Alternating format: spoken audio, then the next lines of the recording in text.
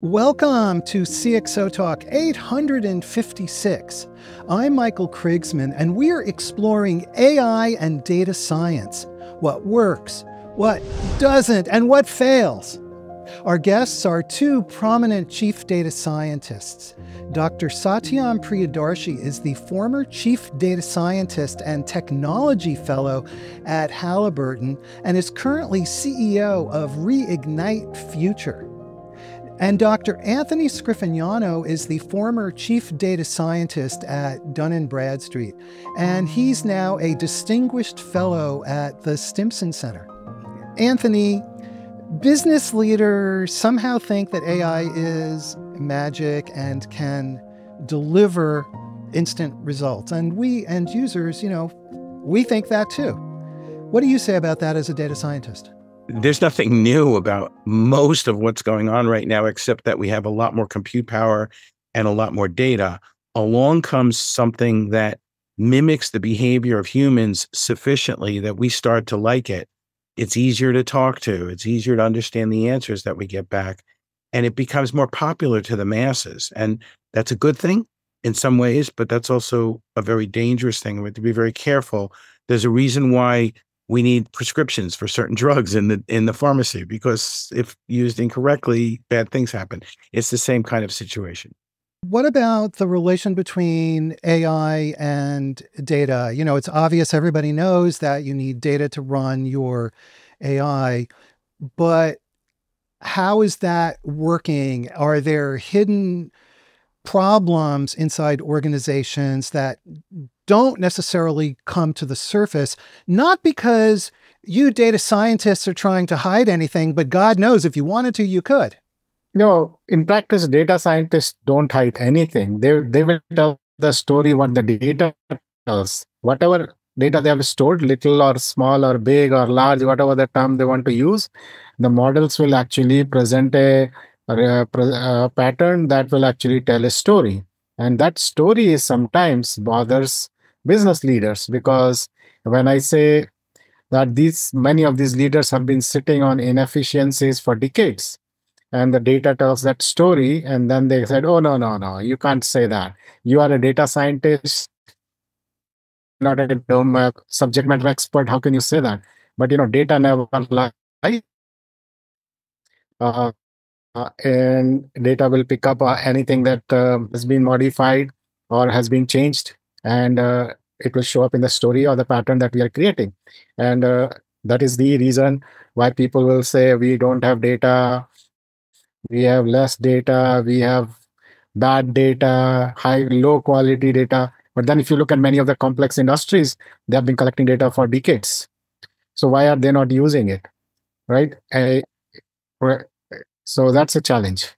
There's a number of challenges that we all have and and whether this is data science or or anything that involves analytics, um, you run into something called confirmation bias, which is, you know, I believe something to be true. Go look in the data and find the data that supports what I believe to be true. And if you look in enough data, you'll find something that supports anything you think is true. And so if you ask a bunch of data scientists without any understanding and without any involvement with them in the work they're doing and the assumptions they're making, the data doesn't care how you feel. It's going to give you an answer. But then the people who believe they knew the truth before they ask the question start pushing back and saying that can't be the answer and you know go work harder and if you torture the data long enough it will it will confess to anything you want so we have to be very, very careful about what's called the a priori assumptions, the assumptions that come up before you enter into any analytic process. You have to believe that the data you're looking at is representative of the frame you're projecting it into. You have to believe that data that was true is still true. You even have to believe that you're you have the provenance, you know where you got the data, that you're allowed to use that data to answer that question. There's a lot of work that has to be done before you push that AI button. What I find is really interesting is this notion of a story that the the data is telling a story. And so can we pull on that thread and Satyam you said earlier that there's there's nothing to hide and we hear about all you know issues around problematic data, not enough data, yet companies have so much data. So can we can we pull on that a little bit? This notion of the of the story that the data tells. One of the most common thing that you hear people talk about application of AI algorithms is in predictive maintenance, right? Very important for pretty much any complex industry, manufacturing, oil and gas, energy, wind, whatever, whichever you want to pick, there is, right? Now, if you have been collecting some data, whether it is 30% good or 40% good and incomplete or complete to an extent, uh, you will build a model on that. Uh, your algorithm, it will show you a story. Correct? It will tell you some pattern will come and it will tell you a story.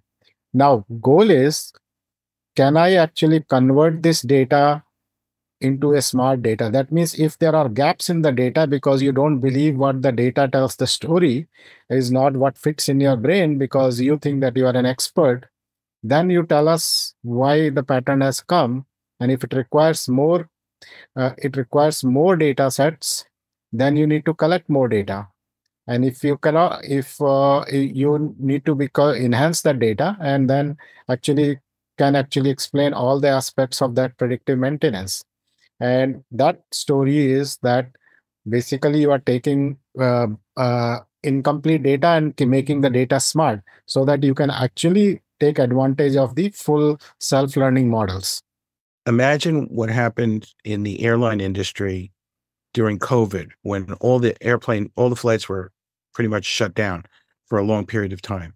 Imagine you had a bunch of models that were trying to predict when certain aircraft were going to need certain types of maintenance and when certain MRO, like uh, uh, greases and oils and, and, screws and nuts and bolts, when these things were needed to be ordered, the distribution management systems that predict when those things will be delivered, none of those were working right because the the underlying behavior changed in a way that wasn't represented in the longitudinal data that was used by those systems to make those predictions. Some smart people had to say hold on. We need some adult supervision here. The assumptions in these models are no longer valid and we can't just use these models to do all of those things distribution and ordering and, and scheduling and maintenance and hiring of mechanics. All of that has to be rethought in the context of this disruption in the middle of that disruption of COVID, there's a ship stuck in the middle of the Suez Canal that had nothing to do with COVID, right? And now people are shipping things by air that they weren't shipping by air because they were shipping them by sea. And now all of a sudden, now we need more flights, right? So you have to stay on top of the situation. You can't just let these things run amok. Context is very important. Most people forget about it. That uh, whatever data we look at as data scientists, we know that we know the we know the context. But how does this come about? And how can business leaders and technology leaders interrupt that negative cycle of using data for the wrong purposes and getting results that are substandard or even meaningless results? One of the things that that happens in aerospace, I'll just use this as an example, uh, it's a good example when a when a rocket is going to launch. Uh, you don't have one system deciding whether or not that rocket launches. You have multiple systems that kind of vote on whether or not the launch should happen. And the smarter ones use different criteria to reach that conclusion. So, one of the ways that you can guard yourself against the kind of concerns that you're articulating, Michael, is to have multiple systems that are observing the same environment, the same decisioning, from different perspectives, or even from the same perspective, but isolated equipment and so forth, to make sure that we aren't running into some surprise situation. You know, that the old joke and back in, uh, you know, long ago, you used to have these commercials that said nine out of 10 dentists surveyed recommend, you know, blah, blah, blah. And, you know, if you if you pick the right 10, you'll find none of them that say what you want them to say. That doesn't make it true. So um, you do want to have systems that are uh, representative, that are looking at a lot of data and possibly not informing each other so that they don't all have to be wrong in order for you to be wrong. Please subscribe to our newsletter. Go to cxotalk.com, subscribe to our YouTube channel. Gus Bekdash on Twitter says, Data science slash AI is similar to statistics where questions can illuminate or mislead. That's why the right questions are important. He says the real question is what should data scientists do to number one, ask the right questions, and number two, and this is interesting, deal with the politics that are bigger than them. So, so now, I, uh, yeah, I love please. this question. Yeah, I love this question. um, you know, I, I always have trouble doing that, but um, it, it's it's so such an important question. So, uh, two parts, two predicates, right? First, what can you do to ensure that you're asking the right questions? There's a whole science called propositional calculus that starts with, you know, what do you have to believe? What are the things that will be axiomatically considered to be true that we're not going to test? What are the things you're trying to test? What is the method that you think you're going to use to test it? And by what right do you use that method? What are the, the assumptions built into that method?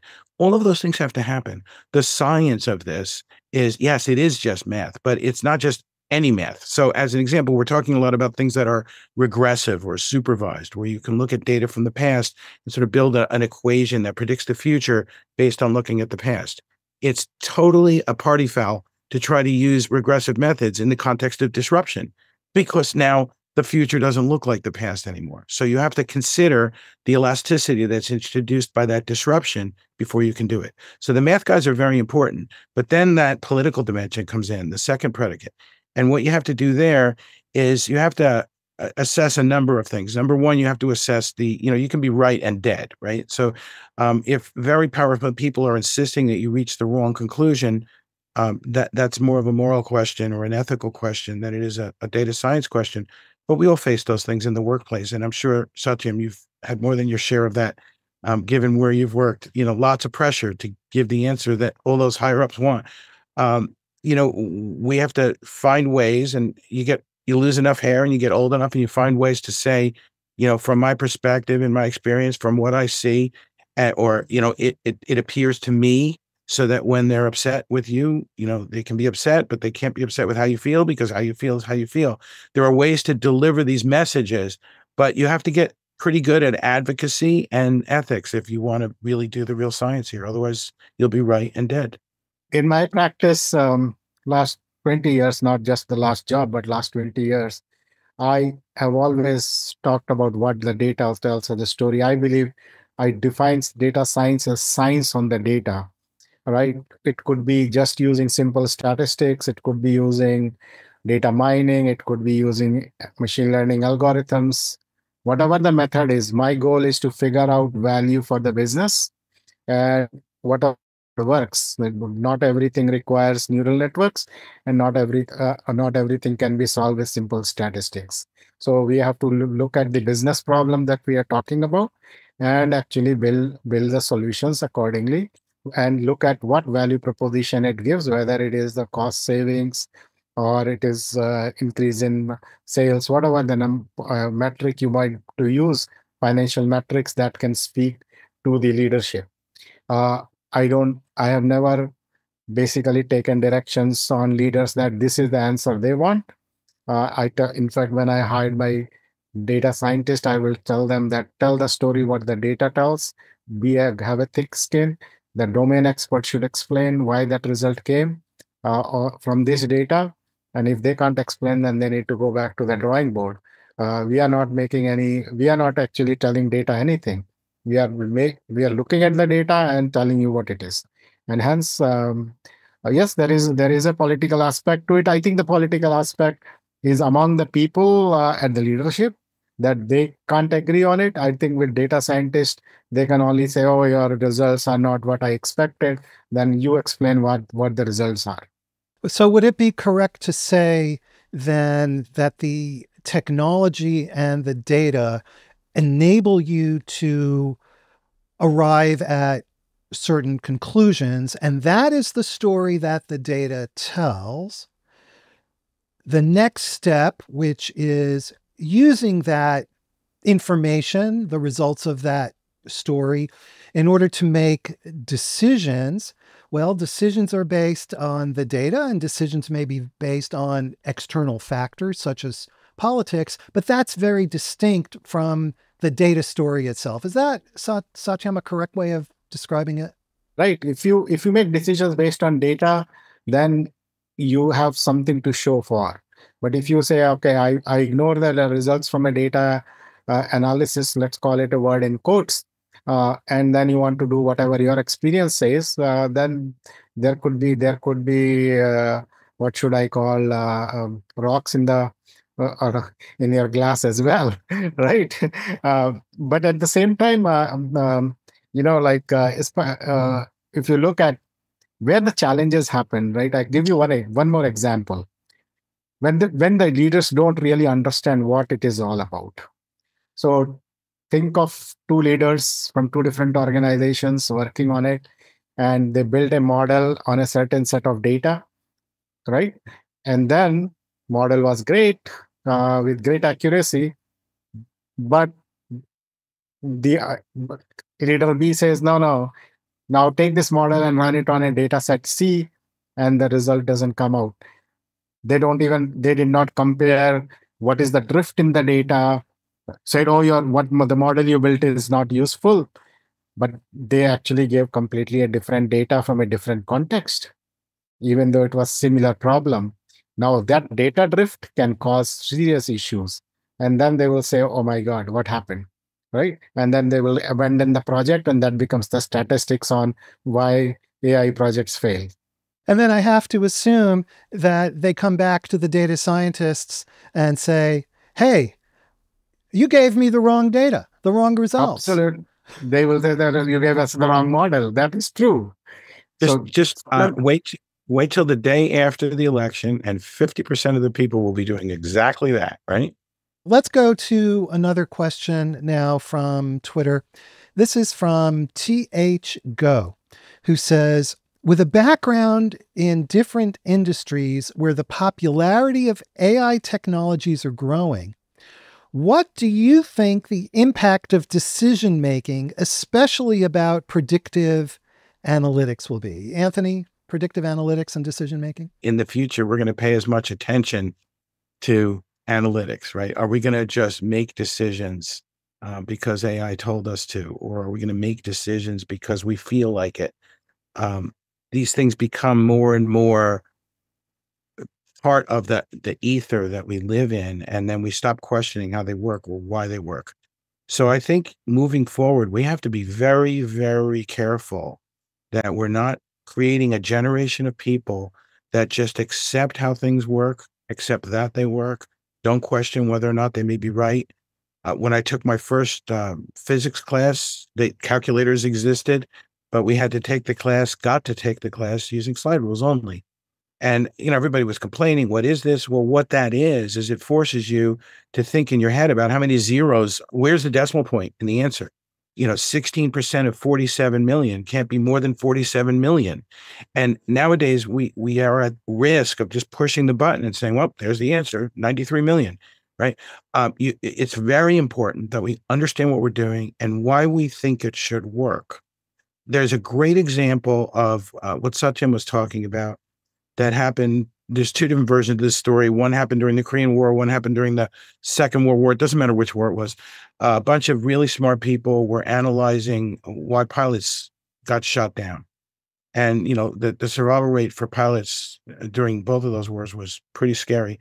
Um, and so they, they don't know what the answer is. So they start looking at all the different factors, the training of the pilots and the nature of the mission and the amount of extra ordnance that they had and so on and so forth. And sooner or later, because you don't know which factors are important, someone starts to look at where the bullet holes were in the planes that came back.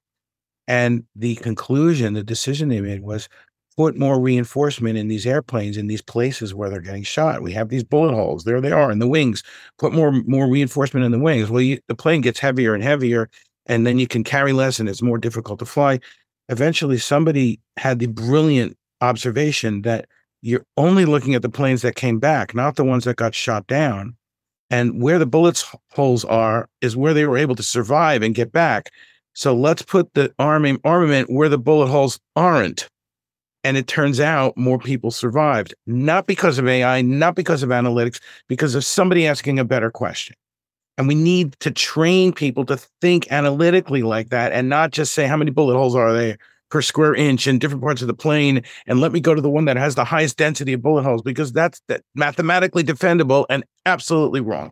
You're trying to get people to actually think and understand. You're Yes. causing a causing a lot of people a lot of work. Sorry. Too bad. Because this isn't supposed to be easy and nobody really cares how hard it is. Boo hoo. Except the people who you're causing this extra work to who do care. They love it. But it's about leadership. Seriously, it's about how you position that, right? If you just say, "Look, Michael, I'm going to ask you to do something, and it's ten times harder than it could be, and and let me know when you're done," of course you're going to hate it.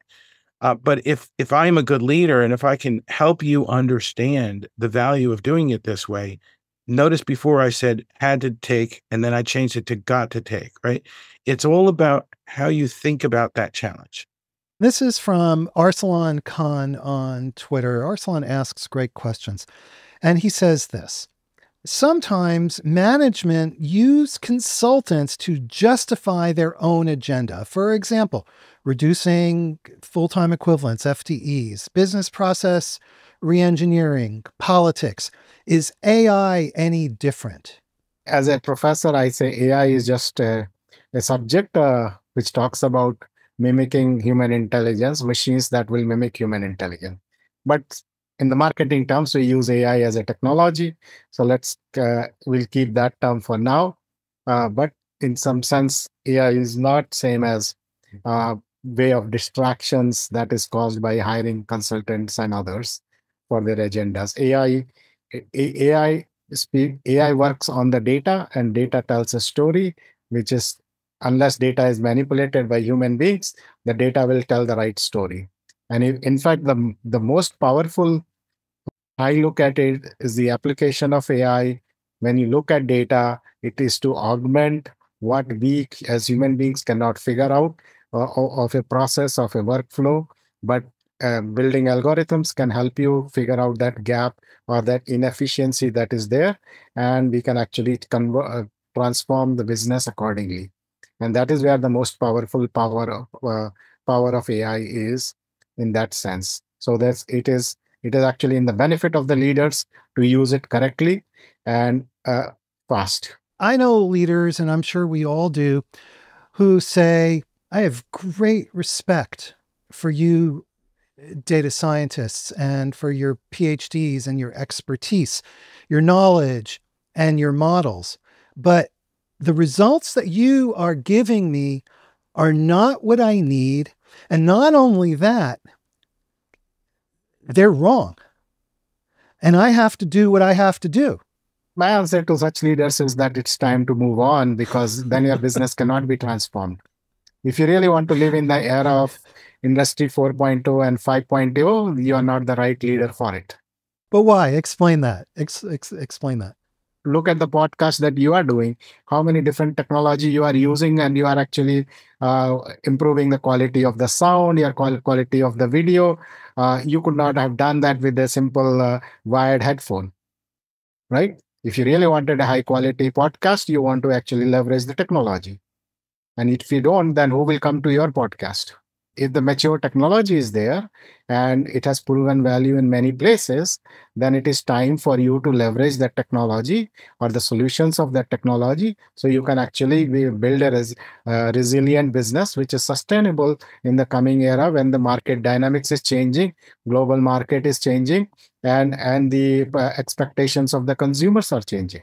This question is one that, that I've seen Arsalan Khan ask numerous times in different forms. He's a regular listener of the show, which again is this question of data science scientists produce results and I'm the business person and you guys are wrong. Sorry. First of all, I'm the business person too, right? So it's not we and they. We're both pushing the same rock up the same hill.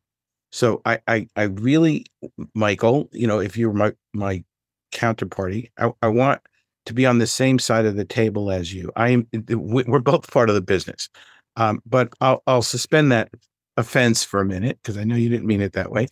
Um, what I usually do with this, I, I you know, I have a different approach than Satyam, which I, I'm I have to say I'm jealous of your response, and I would probably fe- love to say that to people from time to time, but I don't.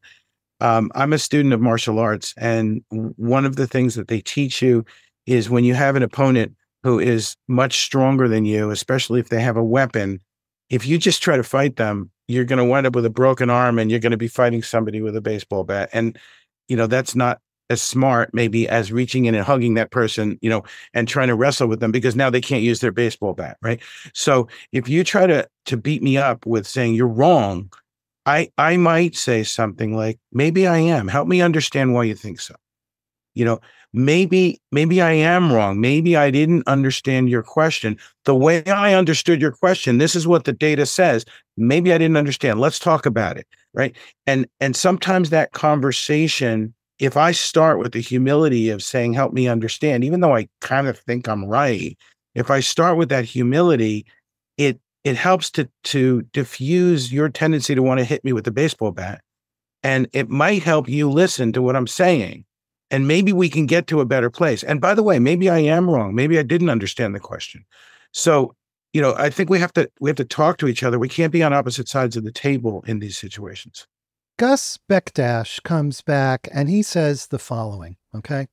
He says, Anthony touched on something big. Data science is about using history to predict and shape the future, but there is nothing new in the past. So, does data science suppress innovation? He's, and he says it's complicated. And what do you guys you gentlemen think about this? Certain types of projection into the future can be informed by looking at the past. And certain other things are of necessity disrupted or never before seen or unprecedented. That doesn't mean that what we learned in the past is useless. It means it's differently useful. And so, what we have to be able to do is to, we're talking basically fundamentally about supervised and unsupervised methodologies, right? Supervised means you, you look at training data, you look at the past. Unsupervised generally means you try to look at what you're observing and cluster it and, and organize it in ways that, that emerge from the data that you as, you as you see it, as you lay out in front of you. It's not that simple. There are other methods that sort of stand with one foot in one of those camps and one in the other. There's something very valuable in the context of disruption called Bayesian inference, where you kind of take a little step and then look at things and then take another little step and keep adjusting your your assumptions about what you think is going on. But ultimately, if you think about the way you drive a car, you've learned everything you've learned from all of your years of driving. And you certainly have the ability to look in the rearview mirror and see the yellow line behind you. No one would drive their car like that you always look out the windscreen and you're making decisions in the moment based on what you see and what is presented to you. And so we need methods that are behaving in this way in situations that are very dynamic and very changing, like driving a car. If we're trying to predict the stock market eh, in, in a stable environment, or if we're trying to understand predictive maintenance of equipment that's been in place for a long time and we understand, then please use supervised methods, right? It depends on what, what you're trying to do. Arsalan Khan comes back with this. And he says, when data scientists are too much about the data, do they consider that the data itself can be wrong? Should data scientists explain this caveat to executives before talking about what the AI recommends? As good data scientists or practicing data scientists, we always look at data in the right context correct and when you look the data in the right context it will uh, it will actually explain the phenomena that we are trying to uh, find inefficiencies in it and if the data has been tainted or modified or deleted uh, your story will not complete. And that is what the what the leaders need to know that you have been wasting money storing the data that is not great. Uh, and there are many, many, many, many cases of uh, in all complex industries that the data is being uh, manipulated uh, by one one person or the other to fit the answer that they were looking for, and those things will show up in when you did, did a proper modeling on the historical data. that to the previous question, also tie into this historical data is critical for understanding what has been done. Without that, we can't build the future models. If anybody thinks that they can, then uh, I think uh, that's completely useless in some sense. That means I can build any synthetic data and build a model, but then it will may not be in the right context, right? So that will make this is where uh, uh, one of the example is that I asked uh, one of these generative AI system. I said, "Can you make me a flyer for generative AI?" And I will I'll show you those four pictures later. That now the word is learned some AI, not generative AI. It made generative AI word murdered into its uh, into different shapes and sizes. So the thing is, when you are not putting any context, it just says these are just few letters. Let me put them in a different order, right? So we have to be very careful how we do that. And communication with executives is actually the results that have come out of your analysis and showing it to them and saying, put it in the right context. This is the context I know. And this you explain why this is happening. Michael, if I can offer a um, another answer to that question that, about truth and data, there are some dimensions of truth. I've done a lot of work in in the science of what's called veracity adjudication, or judging the truthfulness or the usefulness of data for a problem, and I can offer these dimensions. The first one for truth is that when you go to court, you swear to tell the truth, the whole truth, and nothing but the truth. And the reason for that, I say this a lot, is because those are three different things. I can tell all all the truth to allow you to reach the wrong conclusion, and that's a kind of lying, right? I can tell the whole truth, but include a few things that aren't true. That's another kind of lying. And I can, you know, so I can manipulate your your presumption of what's true. The other uh, dimension, so there's just a few here. Another dimension is representation. Does the data represent the problem? So if you collect eh, surveys are a great example of this. When you survey a bunch of people and ask them what they think, you have this problem with what's called non-response bias. How do you, how can you prove that the people you didn't talk to or the people that didn't answer would have answered the same way as the people who did answer? So you have to do some math to prove that your data is representative of the system that you're studying unperturbed is another dimension. So we have to be very careful when we use math on systems that are not stable. And especially if somebody may have messed with the data. There's this thing called adversarial manipulation. I don't have to destroy your system. I just have to spoil the milk, like what your AI consumes. Authenticity. Do I know that this data is what it purports to be? A lot of times you can do this with metadata analysis. And then the last one is latency. You know, how old is the data? Data that you collected five minutes ago is not five minutes old. It was created at a certain point. So even if the data passes all of those other tests, it's representative, it's true, it's authentic. It may have all of those. How many people were killed in the earthquake, you know, five minutes ago? And then you look at it, you know, five weeks from now, and many more people were killed in that earthquake because we didn't know about them yet at the time that we had collected that data. So latency is very important. All of those dimensions and many more are important in understanding the veracity and usefulness of data to AI. You ignore them at your own peril. You both do work with very large organizations with very large budgets. In some cases, organizations, uh, consulting companies, for example, spending literally billions of dollars to retrain all of their staff to understand AI. To what extent is this set of data problems pervasive or exist today inside large companies with the assumption that they want to have good data, but they may be making mistakes. I always show a slide, and uh, this is based on conversations over last 15 years, and it continues. Uh, many of these organizations have one very few of them have what is called a data catalog. So they have no idea how much data they really have. Correct? So they will say, Oh, I have petabytes of data, and really ask them where it is, probably no idea. In oil and gas industry, we know that they have multiple copies of the data that has been proven, no recorded, uh, like that. Then most of the people will say that their data is only 40 to 50% complete right? And of bad quality or good quality, depending on who you are asking. So these are very well-known statistics uh, of the data in, in, complex industries. But having said that, the in the last five, I would say five to five years, there has been a lot of changes. People have started learning how to collect data in high frequency. Collect and then actually analyze it much faster thanks thanks to technologies like IoT and cloud that these things have been now improving a lot. So uh, in that sense, the historical data may be not of the right uh, dim- dimensions, but still there is a lot to learn. But at the same time, I think that other associated technologies are helping people change the, their behavior. I'll see your brilliant comment and I'll try to raise you at least a smart one. Um, where we, when we started to talk about big data years ago, we talked about these V's velocity, variety, value, volume. Essentially, we're talking about all of those things now. We're just not using those words. We're talking about big data.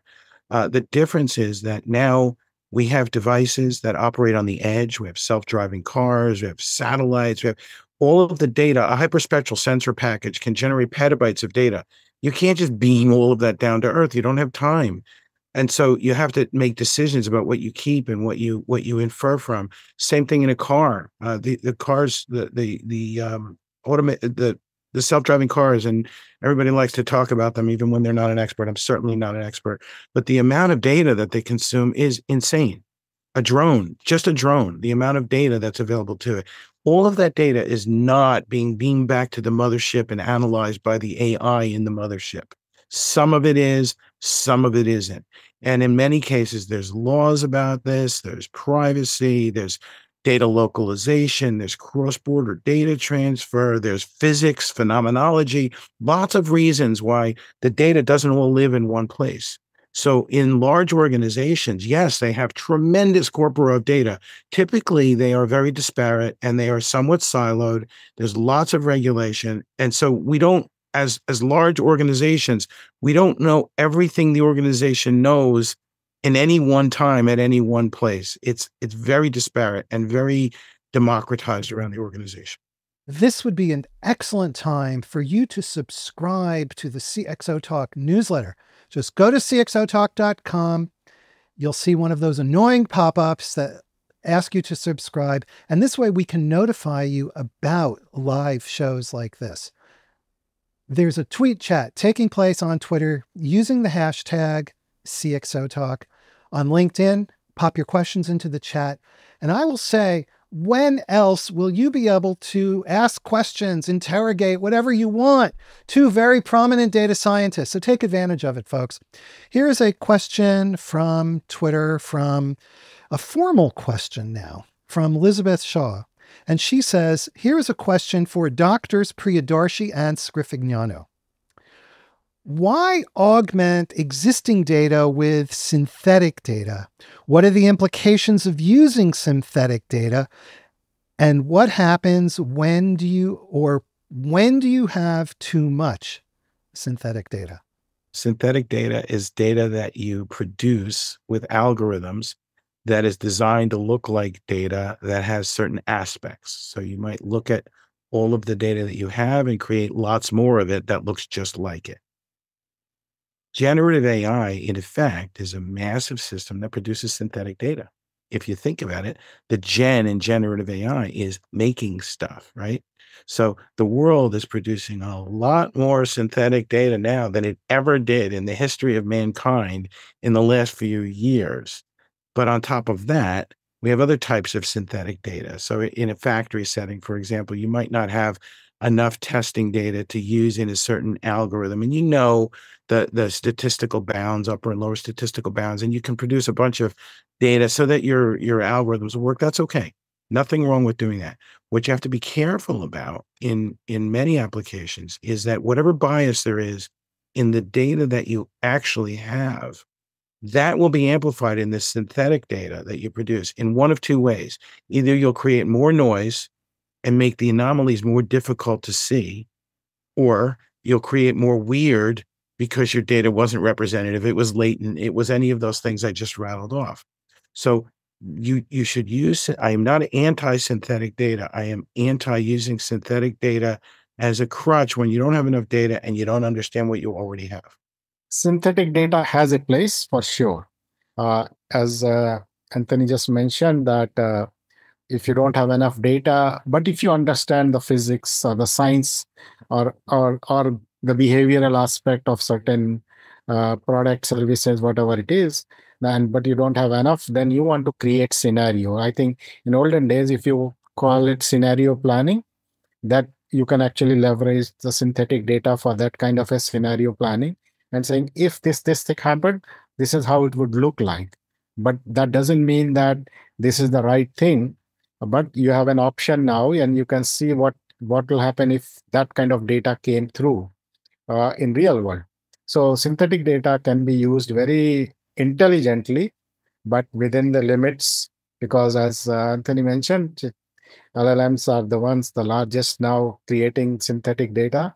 Uh, if you read what they produce uh, makes in many cases will not make any sense uh, because the way you do you are actually prompting it so that's the same thing in, in uh, when you're talking about let's call the numerical data uh, that way it's let's differentiate between the text and the numerical data.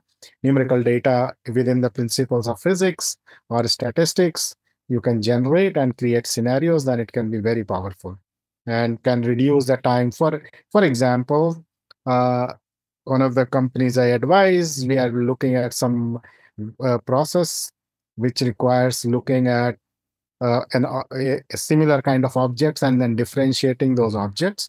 And it's not possible to get all the real data because uh, you have to really sit in a factory to get that so you can actually generate the data build different different models and then you can compare it when you get the real uh, objects in front of you which are flying at a very fast speed.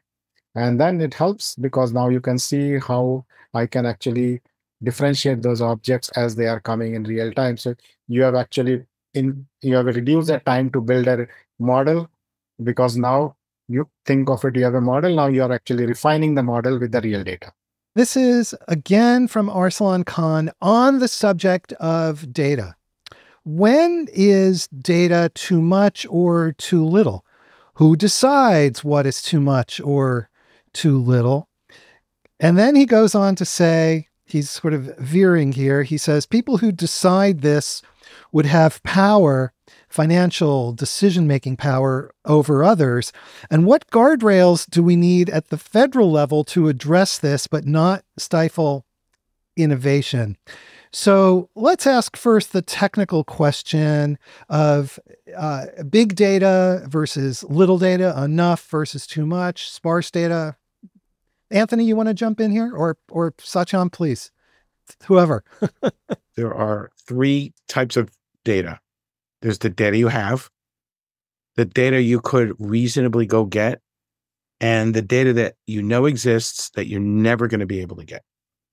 And so if you think about those three universes of data in context of when do I have enough data, you, it starts to get very interesting. The first way of answering that is you have enough data when the data becomes computable when the method that you're using can be used to produce an answer. Sometimes this is called dispositive. So there's a threshold, I call it the dispositive threshold, when you have enough data to dispose of the question with the method. That does not necessarily mean you have enough data to make a good decision. It means you have enough data to make a decision. So now imagine you continue to collect data, and at some point, you're not getting any smarter. The predictions that you're making are reasonably stable within a certain statistical limit. At that point, general best practice says you can now publish your answer. You can now give people your answer, give them the degrees of freedom in your answer, and so forth. There is a, a concept of elasticity. How wrong can I be and still make the decision that I'm making? So that has to come into it. Understanding the degrees of freedom. If you're launching a rocket and you're wrong, very expensive. People can die. If you're, I don't know, doing something where there's very low cost of being wrong, marketing maybe, you know, something where you have you can try it and try it over again. Maybe it can be a little more wrong. So those kinds of things. Um, but at some point, there's this concept of supersaturation that you're not getting any smarter, and there's this concept of um, dispositive. You know that that you can make a decision, but you're not ready to make one yet, and you you gotta find the place in between those two.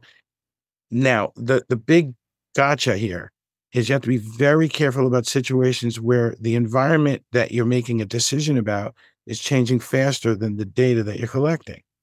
Because imagine that you know there's an old Bugs Bunny cartoon where the plane is crashing, you know, and and they pull the emergency brake right before they crash. There's no emergency brake, right? So if you have situations where you have to make a decision because something else is going to happen if you don't make a decision, there's your dispositive threshold right there. So the world around you can force an answer. Um, those are generally the big the big uh, rocks in the stream of uh, the statistical methods and the mathematics around decision making and when you have enough data. I'm going to sh- take a breath and, and let Satyam talk. Uh, the, the second part is about guardrails and, and oversight and regulation. Satyam, do you want to jump in here uh, very quickly on this because we're going to run out of time and there's a lot left to talk about. So, thoughts on on on the this data quantity issue? The way I look at it is that I want the minimal amount of data that will produce the maximum output or the value for my investment, right? Uh, positive value, of course. And uh, so I don't want to really mine uh, a terabytes of data if I can actually build a model with gigabytes of data and less number of features. And but it actually helps me to improve a work uh, work pro, workflow or a product or a service, and gives me the return on investment, significant return on investment. That's that's how I would think of it in a business world. Uh, in a scientist world, I would think of like keep looking at it until I run at at, at, a, at an asymptotic limit for the model. Anthony, you grimace. Do you want to do you have a quick comment on this? That's absolutely the right economic view. Um, you know, I want to use the the least amount of data to get the most amount of impact. Um, it's almost the opposite of what I said. It's also right. And, you know, both of these things are right. We have to pay for data. We have to pay for people. We have to pay for.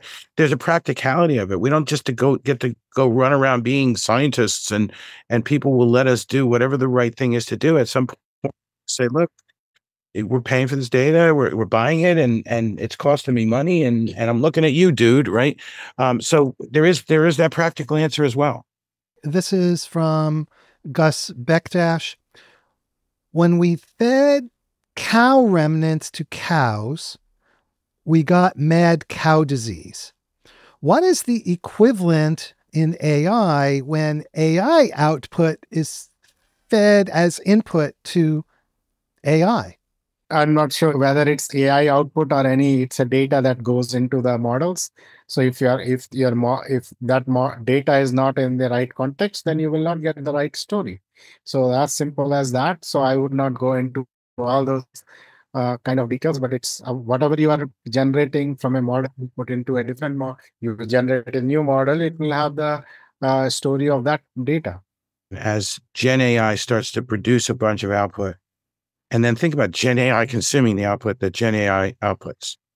Right there's a um, a circling around in this where we're going to get back to you know amplifying all the biases and and ignoring all of the context and all of that. So we have we the real answer to that question is we don't know yet, but it's happening for sure right now.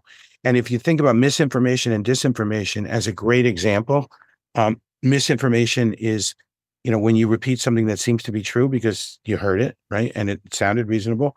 And so you repeated it. Disinformation is when you make up a lie and like put it out there in the ether, right? Well, misinformation and disinformation get amplified at a rate that is hypergeometric with Gen AI because the Gen AI starts to consume it and then it starts to write articles and make posts and do all of those things that seem like they were done by people and they were done by algorithms that contained those mistruths right? We are living this right now and we don't understand the impact of the disease yet. But I guarantee you that this will become a bigger thing it, it, very soon. It, it's already a big thing. When we start paying attention to it, who knows? Are data scientists more prone to publicly dis- or to disseminate, create and disseminate disinformation, misinformation, or confused information?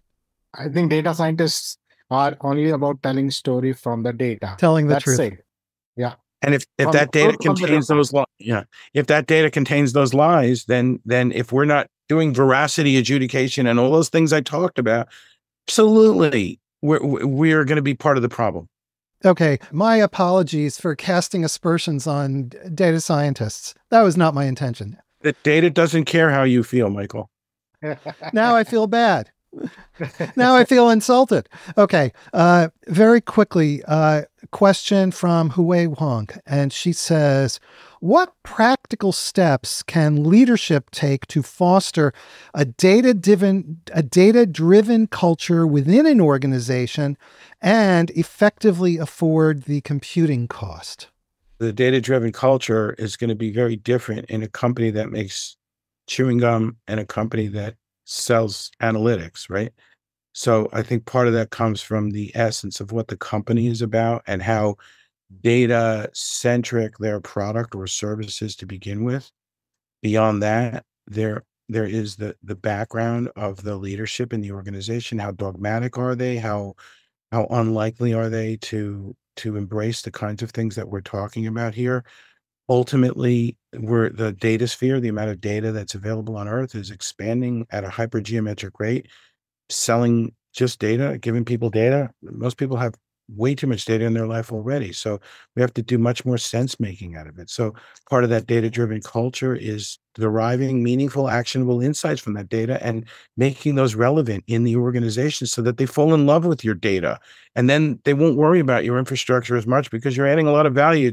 Uh, what Satyam was saying before, you know, show me the value, right? He said it better, but that's pretty much the way it is in corporate America when you discuss these things with leadership, I think it's all about putting in the right context of the business and in in terms of uh, how, which of the financial metrics is your KPI to implement uh, solutions uh, with the with data driven solutions and uh, in that case uh, you have much better chance that they will buy in the concept and uh, you can actually build an organization around it a question from Arsalan Khan, another interesting one. I like these. I love these thought provoking questions. He says, with so much data being collected by various organizations, which might be the same as other organizations, why can't we have a central place for all organi- for all data and organizations where all data and organizations they can just do calls to that data. So why can't we have a central data repository, given the fact that data across so many organizations is so similar in many cases? I think you have to look in terms of what business we are in, what industry we are in. It is not a, it is generic. Uh, you cannot say that, oh, let's all of us put the data together, uh, right? There are, uh, if we look at healthcare data, nobody wants their their uh, their private information out there. Uh, but even though the pharmacies have it, the uh, the doctors have it, the labs have it, but nobody wants to put that data out. Uh, whether it get breached, that's a different story. But uh, in, pers- in principle, nobody wants to put that in one place. Same thing happens in energy industry. People have their proprietary stuff, and they do not want to share. So there are certain areas, but in certain areas there is there is, for example, if we are talking about say face recognition technology, thanks to the data and the common space, uh, whether through social media or other, your libraries for face recognitions are so large compared to what was 20 years ago when there were only five photos or so, right? So there are certain areas where there is no issue, but then there are certain areas where there is a lot of issues. So you have to be very careful. The central repository is not. In fact, in academic world, people have tried this uh, DSpace for uh, research papers and things like that. And so there are there are some areas people are trying, and uh, some some are valid, some may not be valid. In the medical field, for example, with Mayo Clinic has what they call their data platform. It's uh, run by a physician named Dr. John Halamka, who's been a guest on CXO Talk a few times. They are building a federated data system that enables participating medical centers to if in effect share their data so that researchers can query those those data sets about various diseases. It's vaguely similar to what Arsalan is saying, but of course there are protections. Each organization, you're talking HIPAA data. Anyway, so take a look at that if you're interested in this topic. We have one final question from uh, this is from Roland Coffee on LinkedIn. Anthony, uh, how can the bias from data scientists be removed from the data? Very quickly, because we're out of time. When you set out to remove bias, you almost always introduce some other bias.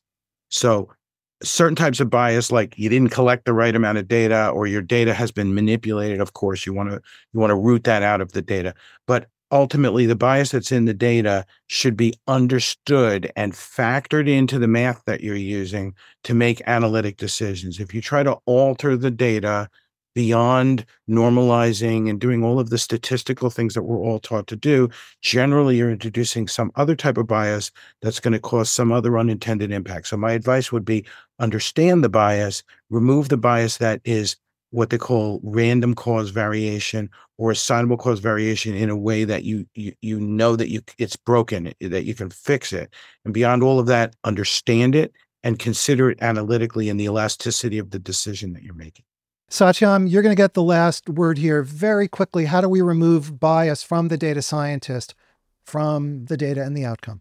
First of all, data scientists don't create the bias. Right? Data scientists only look at the data. The bias is in the data. Right? So we it's not, it's about if if the bias is in the data, then we need to understand how it got into the data, whether it was created by somebody, which goes back to Anthony was talking about veracity in the data, or is it something that already happens and we did not understand the physical process behind the data? So that bias is there because something happened, an outlier event happened, and it it exists and could be real, but we didn't interpret it right at that time. Correct. So the as a data scientist, I do not incorporate uh, put any bias in, into it. Is it possible for a less scrupulous, less careful, less experienced data scientist to introduce bias into the data themselves? Or, as Satyam said, these are just completely separate? I mean, bias is a very big thing, right? There's so many di- different types of bias. So eh, the, the short answer is yes, of course. I, I, see you shaking your head. No, we might be thinking about different types of bias, right? So, um, you know, the, the question itself has a bias in it, right? That the, the, the the young data scientist or the new data scientist will somehow use, you know, a different methodology. So, what I would say very quickly, and I know this isn't quick, is that eh, eh, it, it, human beings always have some type of bias. If we didn't, we would go insane. The number you're not thinking about how your shoes feel. Now you are, right? You you you factor things out all the time. You choose to ignore certain things all the time. It's called living.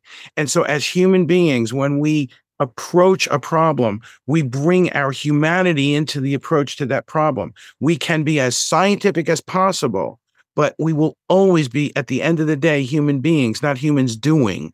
And so there will be some type of humanity in that thing that we do. If we're just adding up a bunch of numbers move on right? But if we're doing real complex data science and complex systems that are disrupted that are dynamic then there is always going to be this element of bias in there and we must always stop and think about it and pay attention to it. Satyam you have to finish this off because you're disagreeing here i can see there is nothing that we incorporate into it right? So that's why i'm saying it is no no data scientist can generate can, can create the bias. The bias is in the data. If there could be different models which may say different stories that's a different it is telling a story from the data by using certain methods. So either the bias is in the data or in the way your method is. But data scientists themselves do not create create those kind of biases in the story. So, Michael, there you have it. There you have it. Two out of two data scientists agree. two out of two data scientists disagree. Okay. Respectfully, we're, I, I, we're saying different things, but I think we agree with each other. We're in violent agreement. Seems to me you're in fairly violent disagreement. Yeah. no. Uh, we're, we're, we're talking about different parts of the elephant here. Okay. And with that, before you guys go, please subscribe to our newsletter. Go to cxotalk.com, subscribe to our YouTube channel. A huge thank you to Doctors Anthony Scriffignano and Dr. Satyam Priyadarshy. Gentlemen, thank you so much for taking time to be here with us today. I really am grateful to you both. It was wonderful. Thank you. And thank you to everybody who asked such excellent questions. Don't forget to subscribe to that newsletter so we can notify you of upcoming shows. Thank you so much, everybody. Check out cxotalk.com. We do have really extraordinary shows coming up. Some of the people that are coming up are great. So take care, everybody, and we'll see you next time. Take care. Bye bye.